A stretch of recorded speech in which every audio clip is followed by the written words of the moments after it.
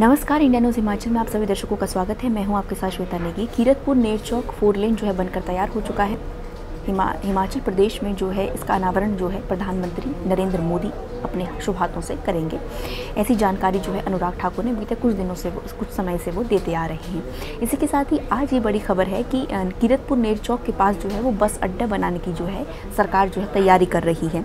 इसको लेकर वहाँ के जो ग्राम पंचायत की जो प्रधान है, पिंकी देवी, उन्होंने एक जो है, ज्ञापन जो है, एसडीएम को वहाँ पर सौंपा है, हुसैन हुसैन साहिब डी को जो है एक ज्ञापन सौंपा जिसमें ये कहा गया है कि हम सरकार की पूरी तरह से जो है सहयोग कर रहे हैं कि हम वहाँ पर किरतपुर नेर चौक के पास हम एक बस अड्डा बनाना चाहते हैं, जिसके तहत जो है लोगों को आने में वहाँ पर आसानी होगी। भराड़ी में जो जगह चयनित की गई है। उसके लिए हम कोठीपुरा बखारी पंचायत के साथ लगती जो ज़मीन है, उसमें हम बस स्टैंड उपलब्ध करवाने के लिए, भरपूर सहयोग देने के लिए तैयार है। और ज्ञापन में ये भी कहा गया है कि ग्राम पंचायत कोठीपुरा के तहत पालंगी बरवानी में इसके लिए उपायुक्त के पास जो है ज्ञापन दिया गया। ग्राम पंचायत यहाँ पर बस अड्डा बनाने में पूरा है जो है वो जिला प्रशासन का सहयोग करने जा रही है। जो बस अड्डा बनेगा, इसमें आबिद हुसैन को जो है वो ज्ञापन सौंपा गया है।